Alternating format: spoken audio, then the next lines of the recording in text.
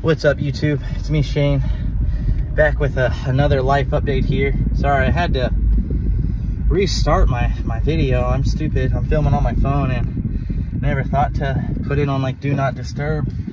And I, I got like three phone calls and then I realized it wasn't recording anymore. I'm an idiot. Um, but yeah, I just went, I rode my bike for a couple miles at uh, Pocahontas State Park and just wanted to check in with you guys and kind of keep you updated on some things. Um, it's really been kind of kicking my butt. I've been trying to get into better shape because those of you that know me know that I love being outside and and whatnot. And it's just been hard with uh, just, you know, the challenges of being an amputee and trying to like relearn things or learn how to do things in a different way, um, which has really taught me a lot. Um, I've been applying for a lot of places for a scholarship for a running blade, which those of you that don't know, a running blade is, it has a little bit of a longer length to it uh, than a traditional walking leg. It, it, gives you more like running trajectory. It allows you to get a better stride. Um, and like I have, I have my leg, which is more of an active leg. However, it's not really meant for running, which sounds kind of, I guess, odd. Uh, most people wouldn't really think of it, but uh, you know, a, a running blade is purely meant just for running. And sadly, in the insurance world, it's an accessory. It's not, it's not something that you need to live. Um, which kind of blows my mind because, you know, I lost my leg in 2020 in September, like prime, like beginning of COVID and world shuts down. You can't do anything. You're, you're going crazy. I spent about six months in a wheelchair and that like your feet can't touch the ground uh, really gets to you. There'd be days when I would just, you know, go out and like wheel myself, wheel myself to the front little porch and just sit outside and get some fresh air because that's something I love the most. Um, and over the time, like I, I had my, my first, my first prosthetic leg that was a little bit active and then I got a, uh, second leg, which was a little bit more active. Um, but it, it's not just meant for, for one thing. It's, it's like a multi-purpose thing. And it, you know, it stinks because if you end up damaging the, the one primary leg, like you're, you're stranded. You're not going to be able to do anything for, for quite some time, which is very unfortunate. Um, it puts you into a predicament of deciding what's important with with life really you know like do you want to live on the safe side or do you want to go out and be adventurous and do things and i would like to say that i'm adventurous but at the same time you know being told to to sit and not do anything really messes with your mind and your brain um I've gotten two blisters over the, the span of about two and a half years now, um, which sucks because you can't really wear your leg. You're you're in a position where you, you need to take your leg off and let it heal. Um, and in, in a perfect world, you know, be off your leg for a couple days, but we don't live in a perfect world and life is expensive and you've got your overhead, you've got your car, you've got the kids, food, groceries, work. And it just stinks sometimes. You're really in a situation where you have to do things, um, which, you know, puts you into predicament. But I, uh, I guess getting back on topic, I applied to a couple scholarships for a running blade. Uh, one turned me down. They said that I didn't quite fit the age criteria. I'm 33 years old. I think I'm a young energetic person. Um, so, you know, it, it is what it is. I, I, I went into it not really thinking that I'm going to get something the first time I try, you know, like there are a lot of amputees. There are a lot of people that are more athletic than me, that are healthier than me, that really deserve things. Um, and my, my prosthetic guy, he told me about Challenged Athletes Foundation, um, which I, you know, I went on their website and it's, it's a huge program all across the United States really. And I, I applied, man, probably a year and a half ago. And uh, honestly, I, I, I forgot that I even applied for it. Um, in my head, I was like, well, you know, maybe one day I'll get something, who knows? And, uh, lo and behold, man, I'm on vacation this past April. It's June right now, so literally a couple months ago. And I get an email from them stating like, congratulations, you know, like you've been accepted for this grant. And I was like, no way, like th this is not real. I sent it to my prosthetist and he was like, yeah, man, I, th I think that's legitimate. And it took a little bit, but we finally got the acceptance letter. Um, he went ahead and ordered my running blade.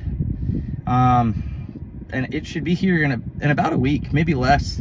So let me know if you guys want to, you know, see the journey of that. I, I, I need to go in and get fitted for it. We need to make sure it fits well. Um, you know, it's crazy. I haven't, I haven't ran in about four years. I haven't truly ran. Um, and it's going to really take some getting used to. Uh, but like setting goals, small, tiny goals, just saying like, you know, a couple steps at a time turns into a couple, you know, a couple feet, a couple hundred feet, a mile, two miles, three miles, who knows.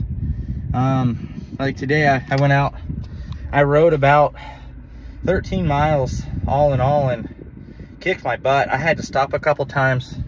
Um, let some people pass me. I passed some people. Um,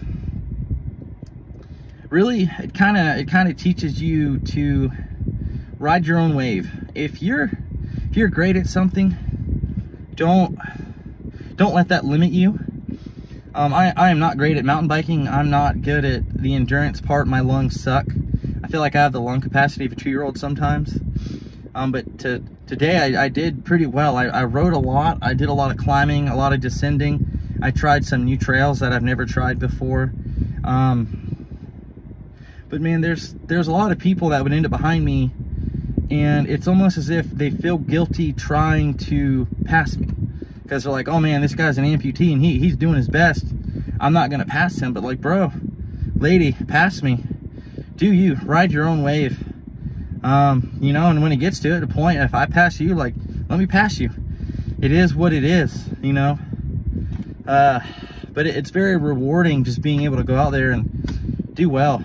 Uh have people you know say hi to me uh, tell me to enjoy my ride and whatnot. It, it's funny because I I never thought about living life differently. Um, and this has taught me tenfold how to live life differently. Um, looking at everyday objects, you know, my, my first prosthetic leg didn't really have a lot of give to it. It's not flexible. Um, so going over branches and sticks and twigs and rocks, it's like your, your leg wants to lock up and then it just kind of throws you into a forward movement where you're about to like barrel roll. Whereas now with my, with my leg, I have the, uh, sorry about that, Össur Cheetah Explorer. I love it. It is hands down the probably greatest leg I've ever had. I, I don't have much experience with it, but it's very flexible. It, allows me to do things that I couldn't do before previously. Um, but it just kind of, it blows my mind seeing people look at you. Um, which, you know, growing up as a kid, my mom always taught me, you know, like, things can always be worse. Um, not to, like, cry wolf. If you're in a situation where, you know, you you have the the sucky hand. Uh you know things can always be worse. Take it for what it is and just keep pushing forward. Uh you're you're here another day on this earth. Keep keep moving forward. Keep trying to do better.